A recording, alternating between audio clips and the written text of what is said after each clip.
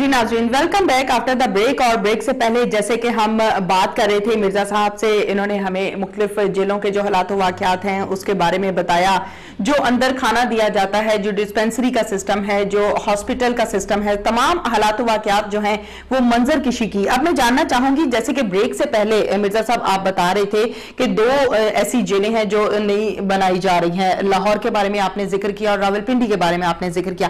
ان کی ذرا بتائیے گا کیا تفصیلات ہیں؟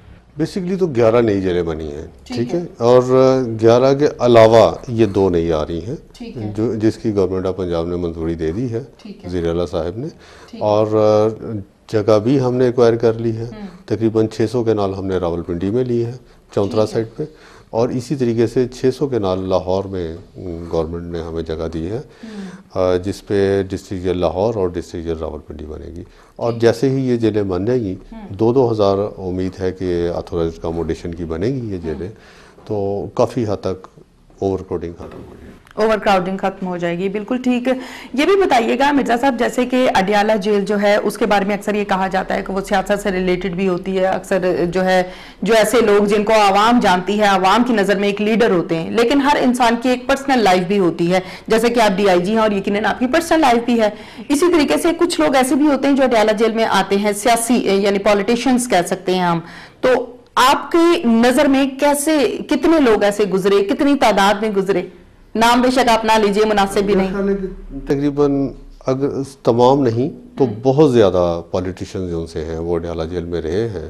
اور چونکہ وفاق کی اپنی جیل نہیں ہے تو سارے وفاقی پریزنرز یہاں ہی آتے ہیں چاہے وہ پولیٹیکل ہوں چاہے کریمنل ہوں۔ تو اس وجہ سے بھی یہ جیل زیادہ مشہور ہوئی ہے۔ اور اس کے علاوہ ایک مسکنسیپشن بھی پائی جاتی ہے کہ شاید ذوالفقار علی بھٹو صاحب کو پھانسی اڈیالہ جیل میں دی گئی تھی اور اس وجہ سے بھی یہ جیل میں بڑی مشہور ہوئی۔ جبکہ اس وقت اڈیالہ جیل کا تو وجود ہی نہیں تھا۔ اور ڈسٹرک جیل راول پنڈی تھی کچہریوں کے ساتھ۔ وہاں انہیں ہینگ کیا گیا تھا وہاں ایگزیکیوٹ کیا اچھا آپ نے یہ کہا کہ بہت زیادہ پولیٹیشنز جو ہیں وہ یہاں پر گزرے۔ اچھا یہ بتائیے گا پولیٹیشنز جو بھی جرم کرتے ہیں ان کے بارے میں ذرا بتائیے گا کس قسم کی کس نوعیت کے جرم تھے ان کے؟ کرپشن یا کچھ اور؟ یہ تو میں کچھ نہیں کہہ سکتا زیادہ پولیٹیکل ہوں گے یا کرپشن ہوں گے یا نیب کے ہوں گے۔ تو پھر ان کو بھی ٹریٹ آپ عام لوگوں کی طرح ہی کرتے تھے یا تھوڑا ذرا وی آئی پی رکھتے تھے؟ جیل رولز میں جیل رولز میں باقاعدہ پروویژن ہے کہ کچھ لوگ جو بیٹر ان کا سٹینڈرڈ لیونگ ہو باہر معاشرے میں وہ گورنمنٹ کو اپلیکیشن دے سکتے ہیں یا کورٹ کو اپلیکیشن دے سکتے ہیں کہ I am accustom to better living standard تو مجھے جیل کے اندر دوسرے لوگوں سے علیحدہ رکھا جائے اور بیٹر رکھا جائے۔ سو جیل کے اندر بیٹر لیونگ کی پروویژن بھی ہے جسے ہم بی کلاس کہتے ہیں یا اے کلاس کہتے ہیں۔ تو جنرلی ایسے لوگ کریمنل تو نہیں ہوتے انہوں نے کوئی کرائم تو کمٹ نہیں کیا ہوتا۔ تو انہیں پھر بی کلاس یا اے کلاس میں رکھتے سی کلاس کا بھی کوئی کانسیپٹ ہے؟ جی باقی سارے سی کلاس تمام عام لوگ پھر سی کلاس میں ہوتے ہیں۔ بالکل ٹھیک ناظرین جس طریقے سے ہم ابھی ڈی آئی جی صاحب سے بات چیت کر رہے ہیں، مرزا شاہد سلیم صاحب ہمارے ساتھ موجود ہیں اور جیلوں کے جو حالات و واقعات ہیں، اس کے بارے میں ہمیں بتا رہے ہیں کہ اس میں A class B class and C class تین کلاسز ہوتی ہیں۔ اے کلاس سب سے بہتر بی کلاس اس کے بعد، اور سی کلاس میں وہ لوگ ہوتے ہیں جو عام عوام ہوتی ہے مرزا شاہد سلیم صاحب، مزید آپ سے یہ بات کہنا چاہوں گی کہ غیر ملکی لوگ جو ہوتے ہیں، جو یقیناً پاکستان کے رہائشی نہیں ہیں، پاکستان کے نہیں ہوتے ان کے بارے میں کیا سسٹم ہے کہ وہ جب پاکستان میں آ کر کوئی جرم کرتے ہیں تو ان کو آپ کس طرح سے ٹریٹ کرتے ہیں؟ یہی پولیس انہیں پکڑتی ہے جو پاکستان کی ہے اور یہی کورٹ انہیں ٹرائل کرتے ہیں اور یہی جیلیں ہیں جہاں وہ عام قیدیوں کی طرح رہتے ہیں جیسے پاکستانی رہتے ہیں۔ اور ہاں یہ ضرور خیال کیا جاتا ہے کہ انہیں سیپریٹ رکھا جائے۔ ان کی خوراک کا بھی خیال رکھا جائے۔ بعض اوقات مختلف جو ملک ہیں ان کا خوراک کا سٹینڈرڈ مختلف ہوتا ہے۔ مثلا بعض ایسے مالک ہیں جو چاول ہی یوز کرتے ہیں فرض کریں ہمارے بنگالی پریزنرز ہوں گے۔ تو ان کو سیپریٹ رکھا جاتا ہے۔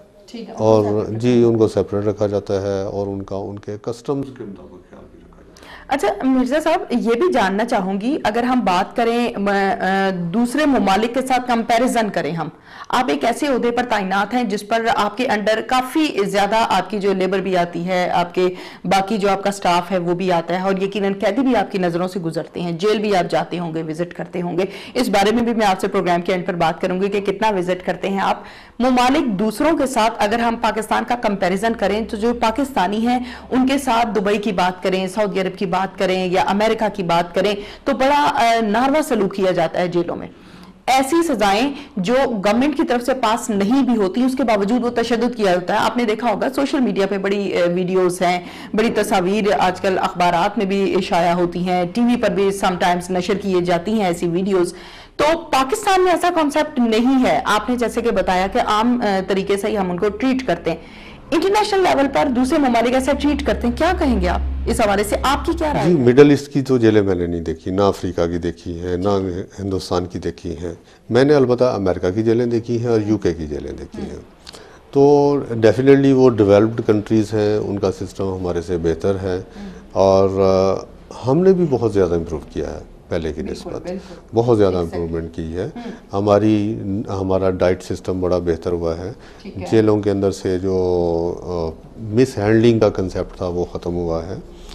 کورٹ میں پہلے بڑے بڑے لمبے عرصے تک ٹرائل چلتے تھے وہ اب جلدی ختم ہو جاتے ہیں دو تین سال میں ٹرائل ختم ہو جاتا ہے۔ کچھ لوگ پہلے جیلوں کے اندر سے پروڈیوس ہی نہیں تھے ہوتے اور ان کی تاریخ پیشی نہیں تھی پڑتی۔ اب ہر پریزنر کا ریکارڈ مینٹین ہوتا ہے کہ وہ کورٹ میں گیا ہے یا نہیں گیا اور ہر سسٹم کمپیوٹرائزڈ ہے۔ اگر کسی بھی دن کوئی پریزنر کسی کورٹ میں نہیں گیا تو اس کی باقاعدہ وجہ لکھی جاتی ہے۔ وجہ لکھی جاتی ہے اور پورے انٹیمیشن دی جاتی ہے۔ یعنی superintendent jail D A G کو دے گا اور آئی جی کو دے گا اور پھر آگے ہوم سیکٹری سب جائے گی یہ انفارمیشن کہ آخر کیا وجہ تھی۔ اور اس کے پیچھے ڈیفینیٹلی کوئی نہ کوئی ساؤنڈ ریزن ہوگی۔ اس دن عدالتوں میں چھٹی ہوگی۔ یا وہ پریزنر بیمار ہوگا۔ یا پولیس نہیں آئی ہوگی اسے لینے کے لیے۔ تو ہر چیز اب بلیک اینڈ وائٹ میں چلتی ہے۔ تو ابھی میں سمجھتا ہوں کہ ہم نے بہت سا سفر طے کر لیا ہے اور بہت سا سفر طے کرنے والا بھی ہے جو ہم انشاءاللہ طے کریں گے۔ موجودہ گورنمنٹ نے اربوں روپے خرچ کیے ہیں۔ آپ حیران ہوں گی کہ دو دو ارب روپیہ تو ایک ایک سال میں جیلوں کی ڈیولپمنٹ پہ لگا ہے جو پہلے نہیں تھا لگا۔ جی جدید کیا جا رہا ہے۔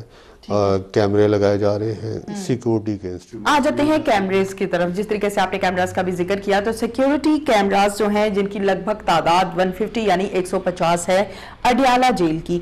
تو ان کیمروں کو مانیٹرنگ سسٹم بھی یقیناً آپ نے اس کا ایک سسٹم ترتیب دیا ہوگا۔ اس کے بارے میں بتائیے گا۔ ہر جیل کا ایک کنٹرول روم ہے۔ کنٹرول روم میں باقاعدہ سٹاف بیٹھا ہوتا ہے جو پوری جیل کو مانیٹر کر رہا ہوتا ہے اور دیکھ رہا ہوتا ہے اور پھر وہ باقاعدہ رپورٹ بھی مرتب کرتا ہے۔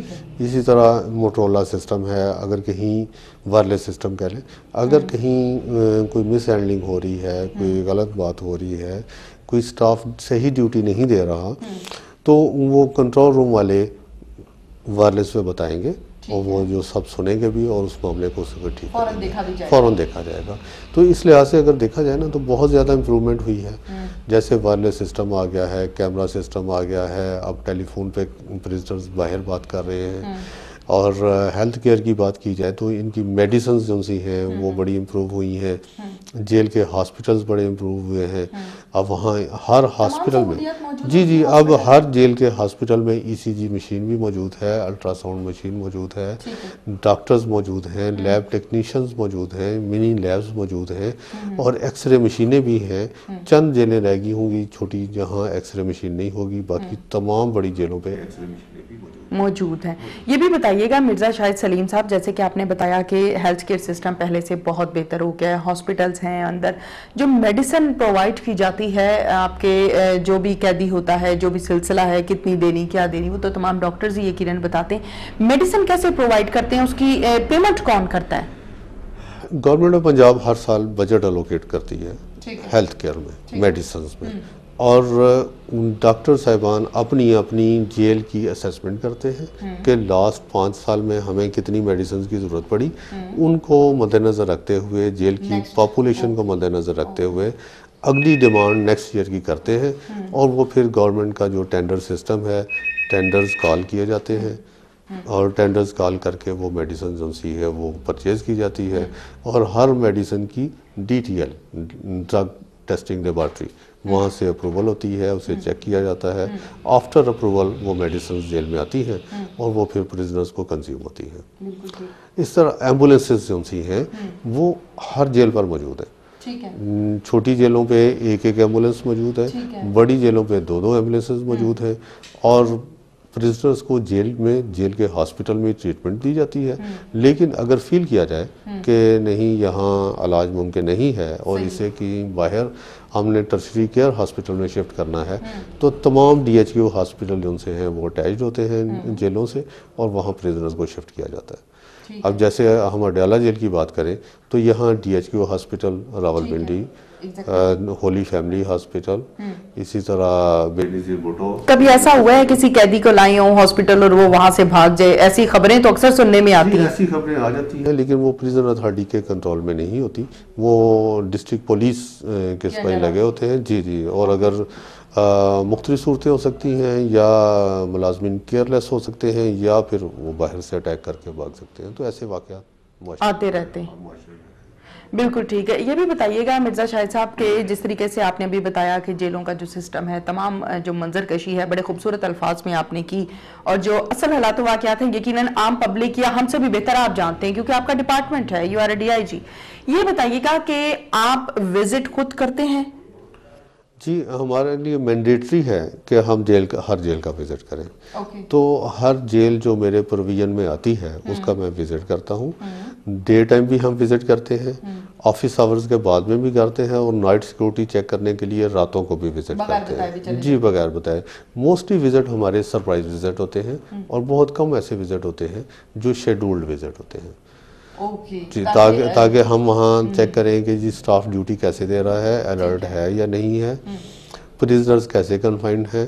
ہاسپٹل کی کیا پوزیشن ہے؟ ڈاکٹر صاحب آ رہے ہیں یا نہیں آ رہے؟ پریزنرز کو میڈیسن دے رہے ہیں یا نہیں دے رہے؟ ڈائٹ جو سی ہے گورنمنٹ نے جو ڈائٹ مینو دیا ہوا ہے اس کے مطابق ڈائٹ پریزنرز کو دی جا رہی ہے یا نہیں دی جا رہی؟ اور اس کی کوالٹی کیسے ہے؟ تو each and every thing minutely ہم چیک کرتے ہیں اور اس کی رپورٹ پھر اپنی چین آف کمانڈ کو آئی جی صاحب کو بھیجتے ہیں۔ آئی جی صاحب پھر آگے ہوم سیکٹری صاحب کو بھیجتے ہیں۔ ٹھیک ہے۔ یہ بھی بتائیے گا مرزا شاہد سلیم صاحب جس طریقے سے آپ نے بتایا کہ آپ خود بھی وزٹ کرتے ہیں اور زیادہ تر وزٹ آپ کے ایسے ہوتے ہیں جو شیڈیولڈ نہیں ہوتے تاکہ پراپر طریقے سے چیک کیا جا سکے۔ مرزا صاحب، آپ بھی ایک پاکستانی شہری ہیں۔ میں بھی ایک پاکستانی شہری ہوں اور یقیناً عوام ہمیں دیکھ رہے ہیں اس ٹائم سنا یہ جاتا ہے کہ جیلیں ایسے قیدیوں سے بھری ہوئی ہیں جنہوں نے کوئی جرم نہیں کیا ہوتا، بے گناہ ہوتے ہیں۔ ہمارے معاشرے کا اگر ہم چیک اینڈ بیلنس دیکھیں تو آپ بھی اس بات کو یقیناً ایڈمٹ بھی کریں گے، میں کمپلیٹ بات بھی آپ کے سامنے یہاں پر رکھوں گی کہ بہت سے لوگ ایسے ہوتے ہیں جو جرم کرتے ہیں، لیکن ان کی بیک اتنی پاور میں ہوتی ہے پولیٹیشن کی ہو، پیسے والوں کی ہو in simple words back power میں ہو تو ان کو جرم کی سزا بھی نہیں ملتی۔ اور کچھ لوگ ایسے ہوتے ہیں جنہوں نے کچھ کیا نہیں ہوتا، لیکن بے گناہ ہوتے ہیں اور جیل ہو جاتی ہے اور یقیناً جیلوں میں ہوتے ہیں۔ آپ کیا کہتے ہیں؟ اس حوالے سے میں آپ کی رائے لینا چاہوں گی۔ دیکھیں پولیس خود خود تو کسی کو نہیں پکڑ لیتی۔ پہلے پہلے کمپلیننٹ ہوتا ہے کوئی۔ کمپلیننٹ کسی غلط آدمی کے خلاف کمپلینٹ کرتا ہے۔ اور پھر وہ بندہ بندے کو پولیس پکڑتی ہے۔ پکڑ کر پھر جج صاحب کے سامنے پیش کرتی ہے۔ اور جج صاحب اس کو جیل میں بھیجتے ہیں۔ تو اس کا مطلب ہے کہ سسٹم ہمارا شروع سے خراب ہے کہ ایک بندہ سوسائٹی کا جو ممبر ہے وہ کسی غلط سوسائٹی کے ممبر پہ الج کرتا ہے اپنی ذاتی دشمنی کی وجہ سے یا کسی نہ کسی اور وجہ سے اور وہ بندہ جیل میں آ جاتا ہے۔ تو میں یہ تو نہیں کہوں گا کہ جی تقریباً ہر بندہ ہی جیل کے اندر بے قصور ہے۔ ایسا نہیں میں کہہ سکتا۔ درست نہیں۔ ہے۔ لیکن کچھ تعداد ہم کہہ سکتے ہیں زیادہ نہیں ایسے لوگوں سے جب آپ کا آمنا سامنا ہوتا ہے تو کیا ایسے لوگ کبھی ایسا ہوا کہ آپ گئے ہیں آپ نے وزٹ کیا کوئی جیلی ہے وہ رو رہا ہے آپ کے سامنے کہ سر میں نے یہ جرم نہیں کیا تھا جس کی سزا میں بھوگت رہا ہوں۔ ہوا کبھی ایسا؟ بشوار دفعہ ہوا لیکن اس کی اس پر ہم ٹرسٹ نہیں کر سکتے۔ نہیں کر سکتے اجازت نہیں ہے ٹھیک ہے۔ نہیں نہیں اجازت نہیں یعنی، قانون نہیں کہتا نہیں سنی جا سکتی۔ دیکھیں ایک آدمی ہے اب ایک آدمی نے باہر چوری کی ہے ڈکیتی کی ہے جیل کے اندر آگے وہ رو رہا ہے۔ وہ کہہ رہا ہے کہ جی نہیں ایسی بات ہی نہیں ہے۔ میں نے مرڈر کیا تھا۔ اگر کوئی مرڈر میں آیا ہے تو وہ کہے گا جی میں نے مرڈر کیا ہی نہیں تھا۔ تو اس کی زبانی کلامی بات پہ اس کی قسم پہ نہیں اعتبار کیا جا سکتا۔ جب تک کہ پراپر انویسٹیگیشن نہ ہو ثبوت نہ ہو شواہد نہ ہو۔ بالکل ٹھیک ہے۔ سر یہ بھی بتائیے گا کہ جیلوں میں مار پیٹ کا سسٹم ہے؟ مار پیٹ کی جاتی؟ ہے نہیں بالکل۔ بالکل بھی نہیں ہے۔ اب یہ? آئی ایم شور پوری گارنٹی سے پوری ذمہ داری سے میں کہہ رہا ہوں۔ جیلوں کے اندر ایسا کوئی سسٹم نہیں ہے۔ بڑے آرام سے پریزنرز رہتے ہیں۔ اب تو بیچارے جیلوں والے جو سے ہیں وہ ڈرتے ہیں کہ جی یہ اپنے آپ پہ فیک تشدد کے نشان لگا کے تو کہیں ہمارے خلاف اپلیکیشن نہ دے دیں کیونکہ ایسے بے شمار واقعات ہو چکے ہیں۔ سر یہ بھی سنا جاتا ہے مرزا صاحب کے اکثر اوقات ایسا بھی سنا گیا ہے کہ فار ایگزامپل اگر کسی نے ایک جرم کیا ہے وہ جیل چلا گیا ہے۔ تمام after long period after long procedure بندہ جیل پہنچتا ہے ڈائریکٹ نہیں پہنچ جاتا۔ اب جیل میں چلا گیا ہے، چوری کے جرم میں، قتل کے جرم میں، منشیات فروشی کے جرم میں، کسی بھی جرم میں چلا گیا ہے۔ تو وہاں سے چار اور جرم سیکھ کے چھ ماہ، سال بعد باہر آتا ہے۔ کانسیپٹ درست ہے؟ کیونکہ باقی لوگ بھی تو تمام جرم کرنے والے ہیں۔ اس کو ہم پارشلی کوریکٹ کہہ سکتے ہیں پارشلی انکوریکٹ کر سکتے ہیں۔ ٹھیک ہے۔ ٹھیک ہے؟ یعنی ایک آدمی ہے باہر معاشرے کا حصہ ہے اور وہ کسی ناکردہ گناہ میں یا کسی چھوٹے موٹے افینس میں جیل میں چلا گیا۔ تو اب اس نے سوچا ہے کہ جی جیل کے اندر میں آ گیا ہوں اور میرے بیوی بچے جو ان سے ہیں وہ دکے کھا رہے ہیں بچے اسکول نہیں جا رہے اور میری بڑی نموشی ہوئی ہے سوسائٹی میں تو اگر اس پہ یہ افیکٹ زیادہ ہے تو وہ دوبارہ کرائم نہیں کرے گا اور دوبارہ جیل کی طرف کبھی نہیں آئے گا۔ لیکن اگر اس نے یہ سوچ لیا ہے کہ جی جیل میں ہی آنا تھا اور یہی بدنامی ہونی تھی وہ تو ہو گئی تو وہ پھر ریپیٹ کرے گا۔ لیکن الحمدللہ میں آپ کو بتاتا ہوں اگر فیکٹس اینڈ فگر سے بات کی جائے تو پاکستان میں ریپیٹیشن وہ بڑی کم ہے۔ کم ہے؟ بہت کم ہے۔ جی اگر بہت بھی زیادہ بات کی جائے تو فائیو پرسنٹ سے زیادہ ریپیٹیشن نہیں ہے۔ جی یعنی کوئی ایک بندہ جیل میں آ گیا سو آ گئے تو سو میں سے شاید پانچ ہوں گے جو دوبارہ جو دوبارہ آئیں گے۔ اور وہ جنرلی پروفیشنل کرمنل ہوتے ہیں جیسے کوئی چوری کر رہا ہے کوئی ڈکیتی کر رہا ہے یا کوئی نارکاٹکس یوزر ہے تو ایسی اگزامپلس ہیں لیکن دوسرے کرائم میں نہیں۔ صحیح۔ بالکل ٹھیک مرزا شاہد سلیم صاحب، یہ بھی بتائیے گا سر، جس طریقے سے آپ نے ابھی بتایا کہ ریپیٹیشن جو ہے پاکستان میں بہت کم ہے۔ اب اسی حوالے سے مزید جیل کے جو حالات و واقعات ہیں، اس کے حوالے سے آپ سے بات کرنا چاہوں گی کہ جیل میں بچوں کی تعداد کتنی ہے؟ جیسے بچے ہوتے ہیں دس سال، بارہ سال، پندرہ سال، کتنی تعداد ہے؟ تقریباً پورے پنجاب کی جیلوں میں اس وقت ساڑھے سات سو کے قریب جوینل پریزنرز ہیں۔ جوینل پریزنرز ہم ان کو کہتے ہیں جن کی upper age limit up to eighteen years ہوتی ہے۔ تو یہ پورے پنجاب میں ساڑھے سات سو کے قریب ہیں۔ اور ان کے لیے ایک جیل ہے بوسٹر جیل بلکہ اب دو ہو گئی ہیں۔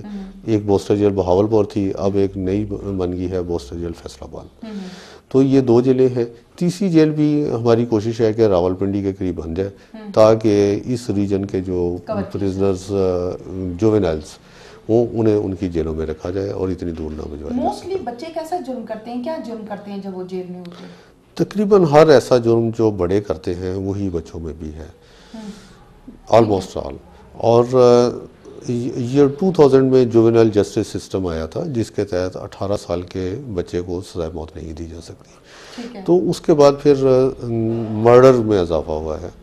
یعنی اب جوینلز کو یوز کیا جاتا ہے بڑے استعمال کرتے ہیں اور ان سے کرائم کرتے ہیں۔ تو پھر اب اب دی جاتی ہے سزا؟ سزائے موت ہوتی ہے؟ بہت ہی ایکسکلوسیو کیس ہو تو اسے سزائے موت دی جاتی ہے۔ ادروائز اسے جوینائلٹی کا فائدہ دیا جاتا ہے بالکل ٹھیک مرزا شاہد سلیم صاحب، بہت بہت شکریہ آپ کا وقت دینے کا۔